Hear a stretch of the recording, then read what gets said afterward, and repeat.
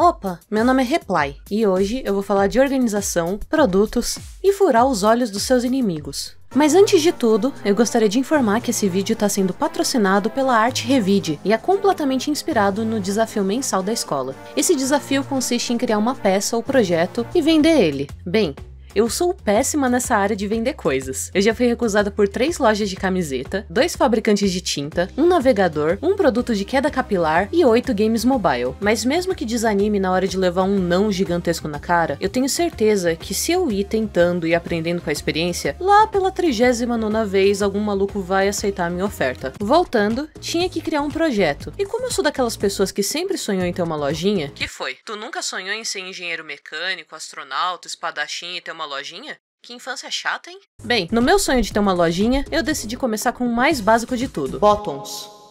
Que bottoms? Porque eu não quero meter os pés pelas mãos e, e tentar fazer algo muito grande sem saber do básico. Um dia a gente chega num nível Joana Fraga ou Gemini, mas até lá é bom definir o melhor que dá para fazer com aquilo que a gente tem. E o concurso do mês deles é justamente sobre isso. Um curso de como fazer gestão de projetos e produção criativa, que vai selecionado pela Amanda Duarte, que para quem não sabe, ela é só a cofundadora de uma das empresas de arte que trabalha para Adobe, Blizzard, Bethesda, Disney e mais um monte de bagulho gigante. A melhor parte desse desafio é que todo mundo pode participar, porque como está sendo feito na Arte Revide, eles sempre abrem programas de bolsas visando a inclusão e ampliação das identidades do mercado de ilustração, fazendo esses concursos para quem não tem condições, o que é um projeto muito legal da escola e que eu apoio pessoalmente. E a melhor parte de fazer bottoms é que se eu fracassar, eu posso pegar todos eles e furar os olhos dos meus concorrentes e vencer por WO. Brincadeiras à parte, além do programa de bolsas, os valores dos cursos são acessíveis, e eles possuem uma plataforma com mais de 100 aulas que ficam todas disponíveis num sistema de assinatura chamado Cantos dos Artistas, que é super em conta. Agora, sobre a minha ideia, eu que não sou boba nem nada, tô ligada que o pessoal daqui valoriza muito a nossa cultura. Então, em vez de ir direto pra série que eu pretendo fazer de criptídeos, mitologias e SCPs, eu foquei em finalizar coisas mais daqui do BR mesmo, tipo o chupacu de Goianinha. E eu tenho certeza que essa foi a melhor escolha e que isso pode chamar muito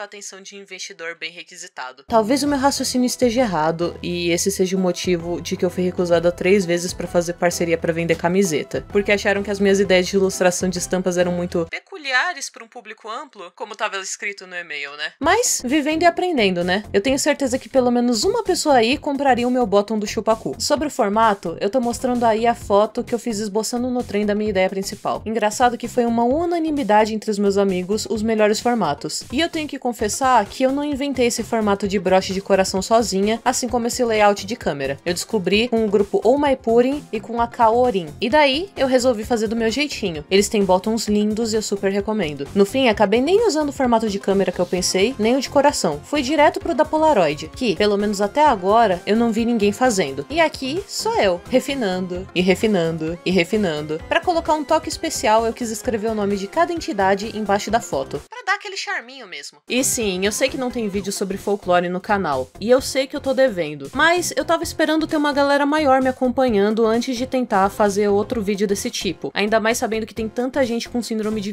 vira-lata por aí. Eu quero fazer um trabalho tão bom, mas tão bom, que eu acabo procrastinando e não faço. Voltando pro processo, não é porque eu fiz de um formato que eu não posso fazer de outros. Então eu pensei que pro folclore brasileiro eu vou fazer em formato de Polaroid, pros creptídeos eu vou fazer em formato de câmera e pros SCPs eu vou fazer no formato redondinho, para combinar com o símbolo da fundação. E como eu sou a melhor pessoa do universo e me amo, eu vou fazer bottoms em formato de coração com a minha cara bem no meio. Tô brincando, eu não tenho tanto amor próprio assim. Mas provavelmente vai acontecer, porque umas oito pessoas insistiram que venderia muito. Então, no mínimo, eu tenho oito vendas garantidas. Se vender muito, eu vou achar que vocês são tudo doido, tá? E eu descartei completamente a ideia dos pins em formato personalizado, porque embora eu ache muito bonitinho, fica muito, muito caro. Eu já vi um desses custando 45, 60 reais, sabe? E eu queria que as minhas coisas, as coisas que eu faço fossem acessíveis, coisas que eu mesma posso comprar sem sentir culpa. Então, bônus de no máximo uns 15, 20 reais pra mim tá show. Como era pra ser só um protótipo, eu não fiz todas as criaturas que eu listei no rascunho, e eu nem cheguei perto de todos os SCPs que eu abri em outra guia aqui só pra separar. Porém, a vontade tá marcada, as listas estão feitas e nada me impede. Eu resolvi manter o meu estilo de brushwork, porque mesmo sabendo que é mais comum ter bottoms fofos e simplificados, eu acho que se não for um tiro no pé e todo mundo odiar viajar pode ser um diferencial pro meu trabalho. Mil na minha direita farão coisas fofas. Dois mil na minha esquerda farão coisas edges. Mas eu farei um expressionismo esquisito.